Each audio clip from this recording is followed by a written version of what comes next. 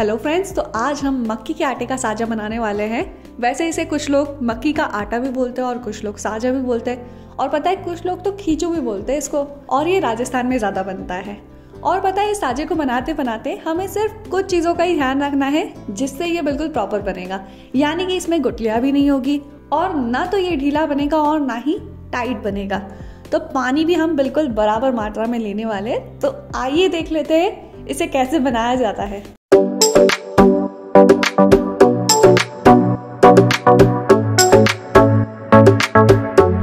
शुरुआत ही हम सबसे इंपॉर्टेंट स्टेप से करेंगे तो हमें क्या करना है? एक बोल में एक कप मक्की का आटा लेना है और इसमें दो चम्मच तेल डालना है और इसे बिल्कुल एक सार कर लेना है। अगर हमने ये स्टेप को स्किप कर दिया ना तो मक्की का आटा बनाते बनाते गुटलियाँ पड़ जाएगी। फिर आप बोलेंगे, ये तो अच्छे से मिक्स ही नहीं हुआ। फिर हमें क्या करना है? जिस बर्तन में इसे बनाना है ना, उसी बर्तन में हम तीन कप पानी ले लेंगे। मक्की का आटा जितना लेंगे, उससे तीन गुना हमें पानी लेना है। इसी में हम क्या करेंगे? हींग डालेंगे, नमक, हल्दी पाउडर, धनिया पाउडर, हरी मिर्च ऐड करेंगे, जीरा डालेंगे तो जीरा हमें पूरा ही डालना है।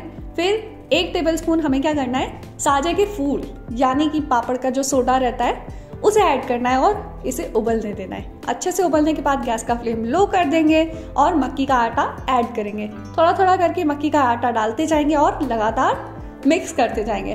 तो मैंने यहाँ पर मिक्स करने के लिए बेलन का यूज़ किया है, क्योंकि बेलन से ये काफ़ी आसानी से मिक्स हो जाता है। लगातार मिक्स करते हुए हम क्या करेंगे, लो टू मीडियम फ्लेम पर इसे पकाएँगे।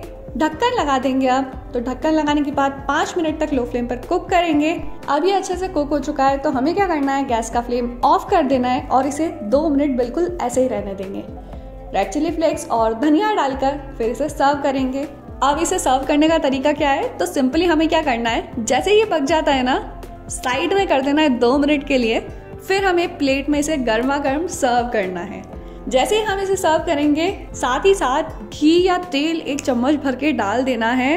रेड चिली फ्लेक्स और धनिया भी डाल देंगे और इसे गर्मा गर्म सर्व करेंगे। बहुत ही टेस्टी लगता है। आप भी ट्राई कर लीजिएगा और कमेंट करके ज़रूर बताइएगा कैसा लगा। इसी तरह की नई वीडियोस की अपडेट के लिए आप हमें इस आईडी पर इंस्टाग्राम पर फॉलो भी कर सकते हैं। और अगर आपको ये रेसिपी वीडियो पसंद आया हो तो इसे लाइक करें और अपने दोस्तों के साथ शेयर करना ना भूलें। और सब्सक्राइब करें हमारे यूट्यूब चैनल सिस्टर्स रेसिपी को। Thank you for watching.